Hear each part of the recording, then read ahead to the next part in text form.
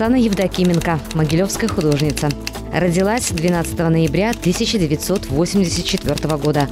Училась на художественно-графическом факультете Витебского государственного университета. Участница многочисленных республиканских и международных выставок, выставочных проектов и симпозиумов. Член Белорусского союза художников. Начиналось, наверное, с 10 лет, когда я захотела пойти в художественную школу. Причем захотела сама. И я помню еще, когда меня вели на экзамены в школу. И с тех пор, наверное, все и началось. А лет в 15 я захотела стать художником по-настоящему. Я помню свою первую работу, и это была композиция. Я не помню на какую тему, но это была какая-то фантазия. Вдохновение – это не то, что такой щелчок, раз, и ты начинаешь что-то делать. Э, говорят, что вот аппетит приходит во время еды, да, также и когда ты начинаешь работать, ты, может, себя заставляешь, тебе этого очень не хочется делать, но какое-то проходит время, и оно само потом получается и идет очень легко.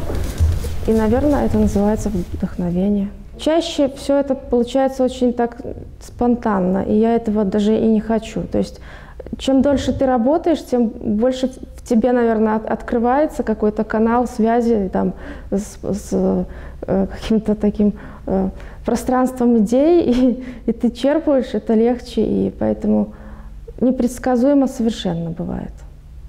То есть я не могу так придумать, я здесь нарисую птичку, здесь там девочку, и это беру, нарисую и разукрашиваю. Ну, мне просто это неинтересно. Творчество для меня это что-то такое очень непредсказуемое, наверное.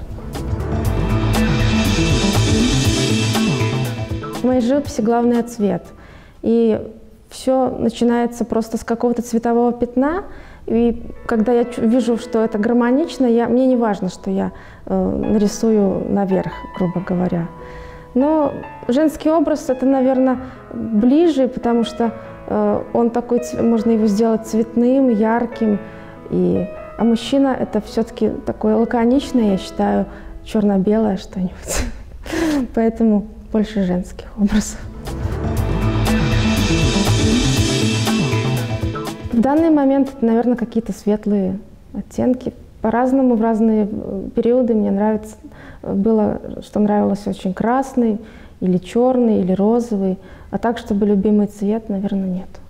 Могу сказать нелюбимый какой-нибудь, там, может, травяной, зеленый, вот такой.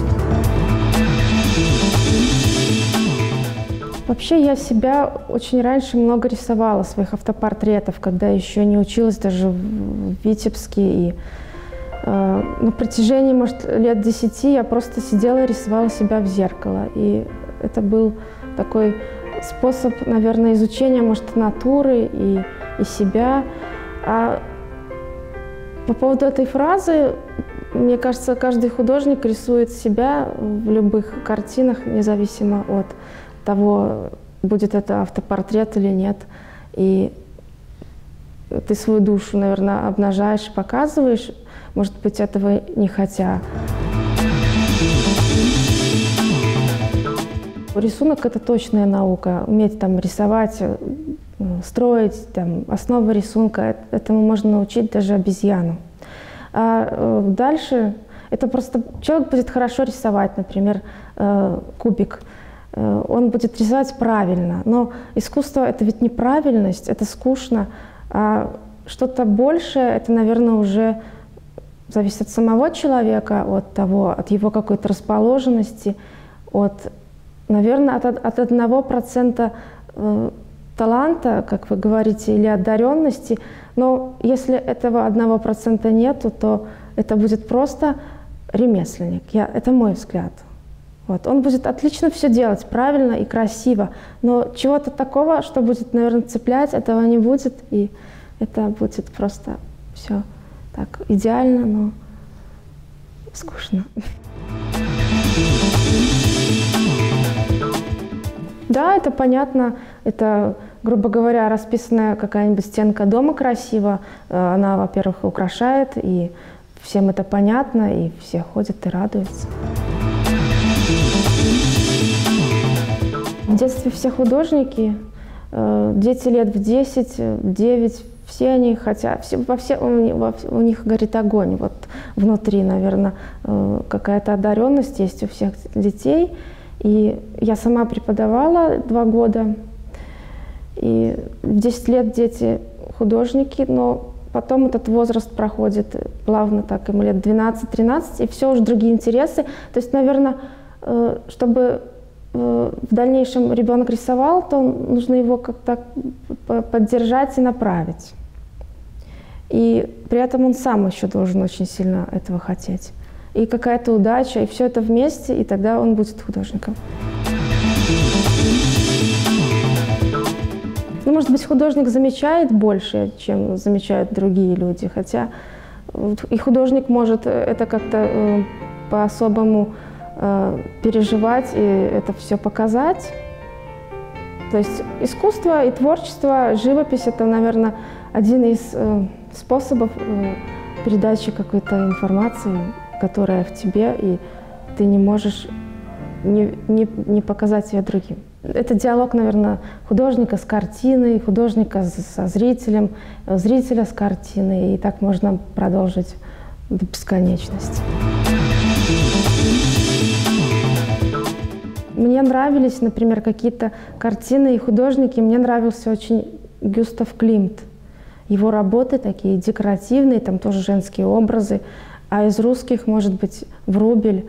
Ну так, чтобы кумир, такого, наверное, нету. Просто что-то ближе тебе, и тебе это нравится. Это просто стереотипы, наверное. Художник не должен был быть голодным, художник должен себя уметь обеспечивать. И, э, то есть заниматься творчеством – это тоже большая роскошь. Э, ведь я не говорю, например, там, сколько стоят э, холсты, подрамники, помещения. То есть, если ты зарабатываешь себе, чтобы все это купить и себе позволить, то это хорошо. А если ты будешь голодным, то есть ты будешь где-то работать и по вечерам рисовать, это уже не художник. Я считаю, просто художник – это такая же профессиональная деятельность, как и, как и, как и остальная, как и другие. Художник не выбирает, вот я буду рисовать в манере реализма или импрессионизма, то есть он не выбирает себе стиль. А у меня э, сочетание, наверное, абстракции и, и э, фигуратива. Я могу делать какие-то абстрактные вещи, просто по цвету могу портрет рисовать, но э, то, что я делаю, э, сочетание какого-то такого микс, это все-таки, это не то, чтобы сейчас модно, но это вот, это это понятно, потому что просто абстракцию могут делать везде, во всем мире. Нужно делать то, что у тебя внутри, доставать что-то такое хорошее и показывать это, да. Ну, хотя свое место в искусстве тоже нужно завоевать. Это не так э, легко. Но если ты будешь не настоящим, наверное, то это никто не заметит. Искусство это для меня это просто мой образ жизни, я, я этим живу. И я делаю все так по-настоящему, наверное, и получается какой-то результат. Для меня это просто и способ жизни, и способ э, заработка, и способ просто и для души. То есть я, наверное, считаю себя счастливым человеком, потому что я делаю то, что я хочу, и при этом я э, работаю. Ну, вообще для художника мастерская это, наверное, больше, чем дом в какой-то степени. Это, это, твое, это твое место, это место, где ты здесь один работаешь, и это... То сюда можно просто прийти и спрятаться от, от всех. Любая работа, она нелегко дается, картина какая-то новая. Э, кажется, что на первый взгляд, что это легко, а на самом деле там большой труд. Вот. И, ну, конечно, очень сложно вот для меня, например, с какой-то э, идеей, да, реализацией идей. Лучше этого не показывать другим, и пусть лучше думают, что все видят красивую картинку и думают, как это все легко. Художник никому ничего не хочет сказать. Он хочет прежде всего э, сделать так, он, как он хочет. А о зрителях, ну, это лично я, это мое мнение, он думает только в самую последнюю очередь. Он не думает, как это будут воспринимать. Просто он хочет сделать максимально, как ему это удастся. Я люблю максимально сделать, то есть максимально ее, чтобы она выглядела законченной работой. То есть когда я чувствую, что уже больше здесь я не поставлю ни точки, то все, эта работа готова. И я никогда не, не возвращаюсь к своим работам. То есть сделано и все. Для меня уже э, пропадает интерес. Признание – это такое громкое слово. Признание, что меня через 200 лет будут где-нибудь учить по истории искусств, наверное, нет. Я думаю э, о том, что я просто живу сейчас, а что будет потом, когда я умру, мне все равно. Вот. Наверное, признание – это когда ты востребован в плане того, что тебя покупают работы, ты участвуешь в выставках, ты живешь какой-то художественной жизнью. Наверное, это часть признания. Вот и все.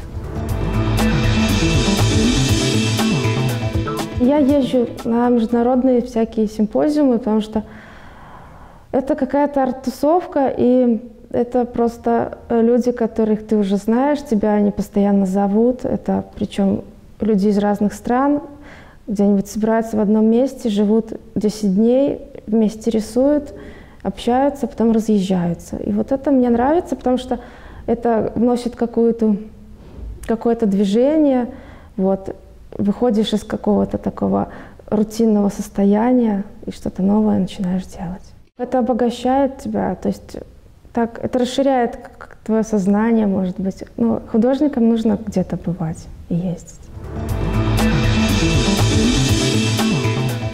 Свобода в творчестве — это когда художник может воспринимать что-то новое, а не только зацикливаться на том, что он делает, а Потому что мы все время меняемся, и все вокруг меняется, и поэтому нужно стараться изменять то, что ты делаешь. И если ты делаешь что-то новое, это очень хорошо. Наверное, вот это свобода. Счастье – это оно состоит, наверное, из каких-то составляющих. И нельзя э, думать, что вот творчество, только творчество – это счастье, только там семья – это счастье. Я хочу, чтобы у меня было, например, все гармонично и все, э, то есть совмещать можно и семью, и творчество. Но для меня, наверное, важно творчество очень, поэтому я и художник. Я это человек, который стремится просто жить и не мешать жить другим, никого не обижать и, и делать то, что я хочу, и делать работы, которые, которые будут радовать других.